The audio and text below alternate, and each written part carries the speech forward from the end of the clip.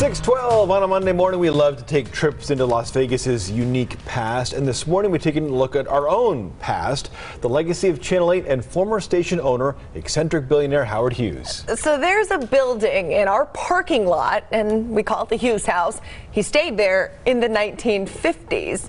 He lived here in the 50s before becoming the recluse that you've seen pictures of, sheltered at the top of the Desert Inn Hotel.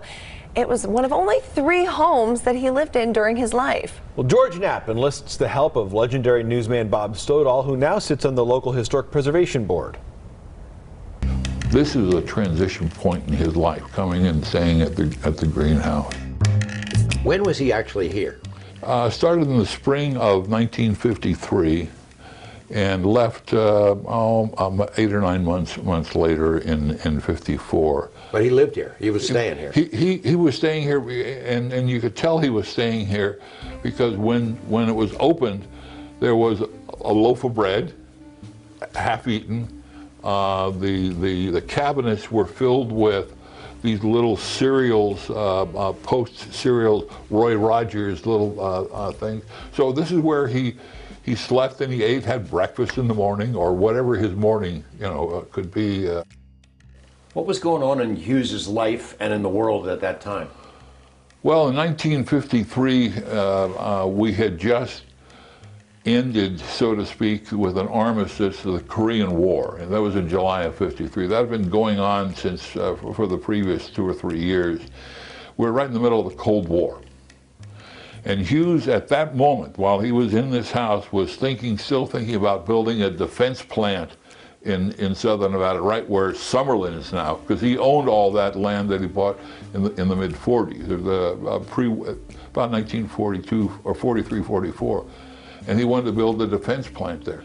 He started uh, creating and, and having written uh, a film, a movie about Las Vegas with Jane Russell and Vincent Price and, and that premiered in February of 1952 here, here in Las, Las Vegas. Had been shooting for the previous 12, eight, 18 months. So he had really refocused his life into, into Las Vegas. He liked Las Vegas. He liked, in the sense, the small town of it, other than there was the entertainment and the casinos that he could quietly go in and wouldn't be bothered.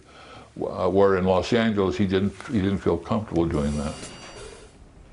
So I guess this was the perfect place to be a recluse, right, in Las Vegas? Kind of TV. the Hughes house was also used for a scene in the famous mob movie Casino. Uh, it's about the Las Vegas mobsters, Lefty Rosenthal and Tony Spilotro. They're played by Robert De Niro and Joe Pesci. Uh, in the movie, the Hughes house was used as the home of the character portrayed by James Woods. It's seen when Sharon Stone's character runs off to L.A. with him.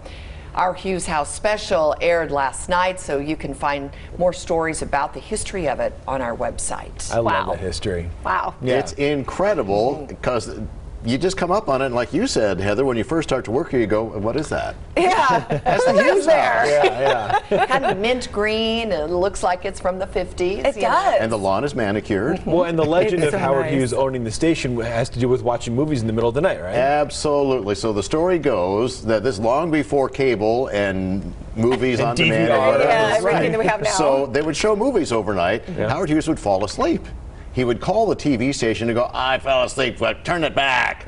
And people who are at home watching would go, wait a minute, didn't we just see that?